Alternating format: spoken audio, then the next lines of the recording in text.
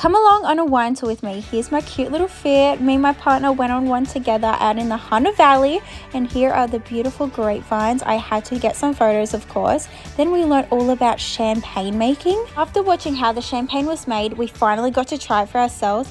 I'm not the biggest champagne fan, but it was actually pretty good. Here is my boyfriend getting the sniff of the century. Here we are trying this red, and it was absolutely phenomenal. It was nice and sweet, so it's like right up my alley. We had some lunch and it was like five star quality. It was amazing. These Bao buns were like next level.